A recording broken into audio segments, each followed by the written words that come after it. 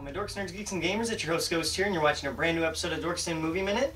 Today we're going to continue on with our discussion on the Book of Boba Fett. Uh, today we are on chapters 3 and 4. Um, so yeah, let's hop right in and start talking about what we're going to talk about. I gotta say right off the bat, uh, these two episodes compared to episodes 1 and 2, I think, thought were much weaker episodes. Um, I think they focused too much, too heavily on the flashback uh, sequences.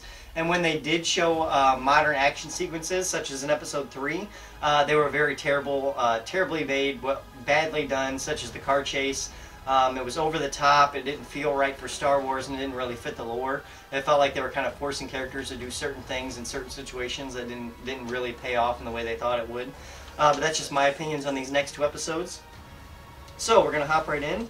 Uh, we learned that after Jabba, Bib Fortuna was the uh, leader of the territory, and he's, what he did was he split it up into three other leaders uh, because he split the land up into into factions, basically into different areas that uh, different leaders have. So that way he didn't have to worry about keeping everyone in control. He just had to worry about keeping the top people in control, and then they would keep the rest of the citizens in line and whatever.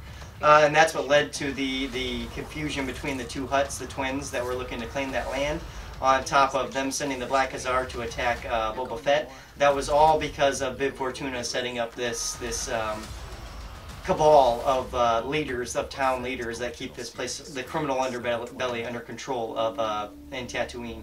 Uh, so that's basically what they were getting through at the, at the very beginning of this episode. Um, basically, he runs into this older guy. He tells him that he needs his help clearing the streets of his enemies. Uh, Boba's like, sure, I'll help you out. He goes to meet these enemies. Comes to find out they are these like cyborg people. Uh, they got like cybernetic parts on them, very much Cyberpunk 20, 2077 style, uh, but much in the way of Star Wars. I don't think it worked at all. Um, I mean, I get that Star Wars is huge and it's a big galaxy and there's all sorts of different life forms out there, uh, but this did not fit with the Star Wars branding and it felt very out of place for me. It felt it felt very much TV friendly, uh, TV movie kind of vibe. It didn't feel very Star Wars at all. Uh, not at all. Like very disappointing by that. Uh, but yeah, it's about him basically teaming up with these cyberpunk kids, and they're trying to track down the. Uh, if you remember last episode, they got jumped by the group of the mayor's men. They're trying to track down the mayor, and they they find the assistant to the mayor. They have this huge car chase. Um, these cybernetic people decide to help Boba Fett because he decided to take their side after the guy told uh, Boba Fett to take to basically kill the the cybernetic uh, gang. Uh, so they take his side. There's this huge car chase. They end up stopping the. Um, the mayor's man at the very end. Um, and that's when Boba kind of realizes, okay, I have a lot more people after me than I than I thought was going to happen. The same time in this episode as well that we get a flashback about Boba, um, basically more about um, him joining the Sand People, the Tusken Raiders, more about him helping them out in situations and learning more about their people. Um, and it basically sets up um, where he was in the Mandalorian season two this episode three basically kind of does the setup for that, and then episode four basically tells you what happened um, in between the Mandalorian season two and before that to, to, to, lead into the Mandalorian season two, and then after that with uh, episode uh, four of this.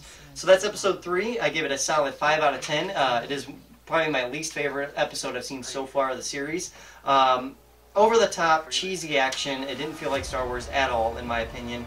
Um, but the Black Khazar segments where him and, and Boba Fett fight, where that was very cool um, and some other segments. Uh, but seeing the side characters in the world around them, that was also cool as well. And some of these droids that we haven't seen since the original trilogy, since 1, 2, and 3, you see them running around in Tatooine, and it makes it feel very connected to the other parts of the trilogy in the Star Wars world.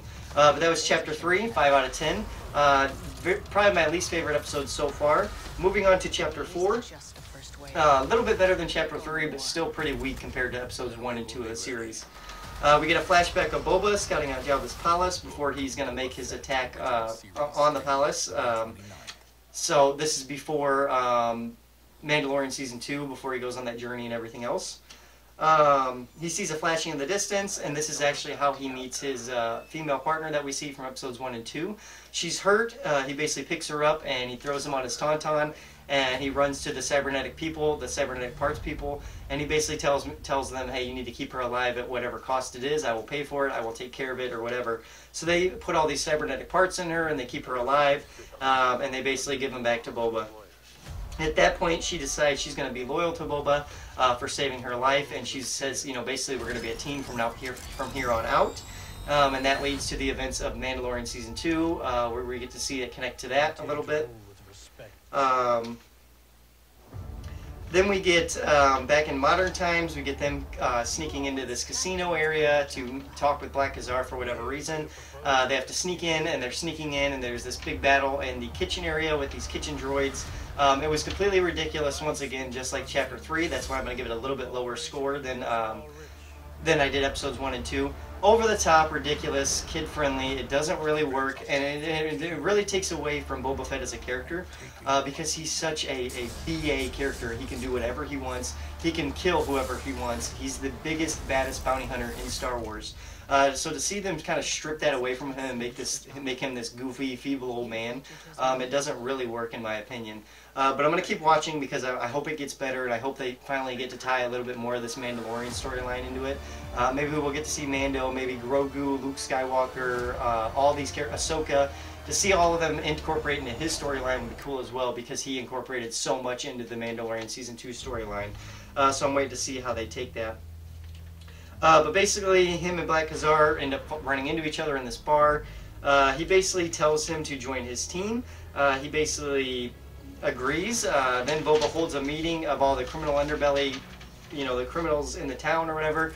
And this is basically the start of the, the, the true Boba Fett stronghold um, in Tatooine. So I cannot wait to see where Boba takes his crew of misfits and of uh, bad guys and gang members and everything else and see where he takes them uh, in the next episodes, uh, 5 and 6. Uh, but for episode 4, I give it a 7 out of 10, slightly better than episode 3. Not as cheesy, but there were those cheesy moments in there uh, that does ruin Boba Fett's character in some ways, in my opinion. Uh, but let me know down below what you guys thought of the Book of Boba Fett, chapters 3 and 4. Are you guys enjoying the show uh, as well as I am or not? If you are enjoying it, let me know why. And if you aren't enjoying it, also let me know why down below in the comments section. Um, like, subscribe, and share. And as always, guys, keep it right here on Dorks Den. I've been your host, Ghost. Adios.